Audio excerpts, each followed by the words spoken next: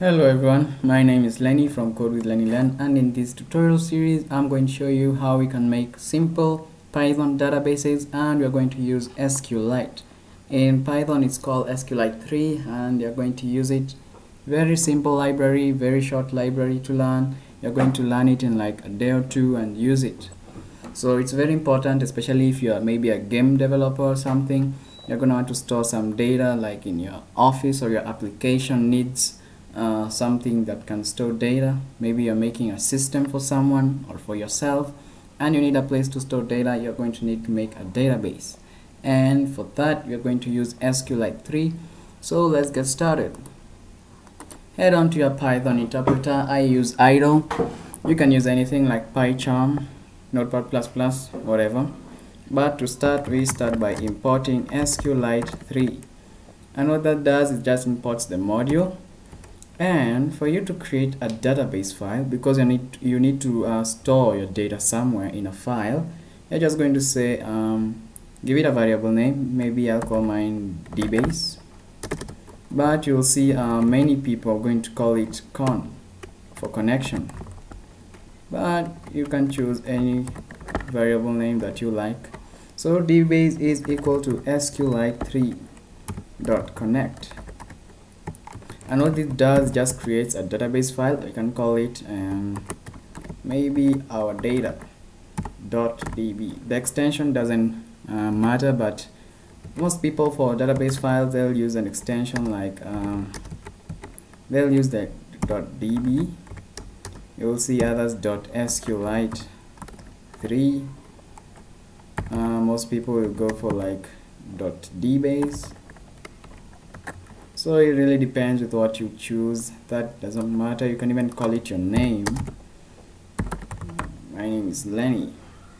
So when it comes to like the extensions don't worry about that. All you need to know is that you're going to create a database file and it will be stored in the same directory as this python script. So all you're going to do is just open the database. So I can take that out open a database file.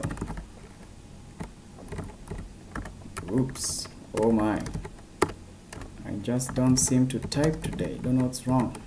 So dbase we now have our database file and got a dbase and it's always good practice that when you exit out of your database or out of your script you have to close it. So you're just going to say dbase dot close and that will just automatically close your database. So let's check it out. I'll go to where I stored it uh, I stored it here. And for now we don't have the database file so I'm just going to run this script. And once you run it we should get our database. So it has started and it has run and it has stopped. So let's check it out. And for sure you see we have our data for now don't worry about this extension. This one is uh, this icon sorry. This icon I got it from an application. I used an application called DB browser for SQLite. That's an application that can help you to look at your database. It really um, asks you to get it. It's a really good application for now but if you don't need it for now you're just going to work with Python scripts. No need for other um, applications so you can see we have our data and it's zero kilobytes so we don't have any data in it.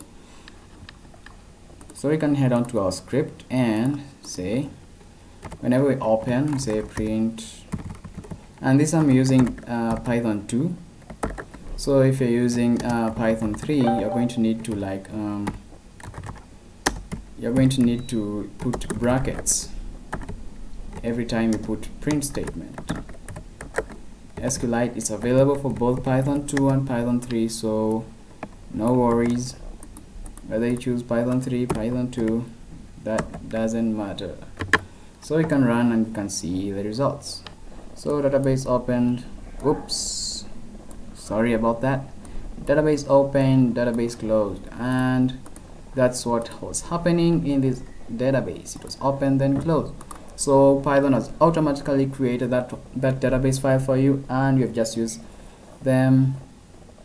The library SQLite. So that's how easy it is to, to work with SQLite. And in the next video I'm going to show you how we can add some data into our database. That's what's called creating a table. For now I hope you enjoyed that uh, that video. It's a really simple way of starting out with SQLite nothing too complicated and I hope that you're going to like and subscribe this video. As always thanks for watching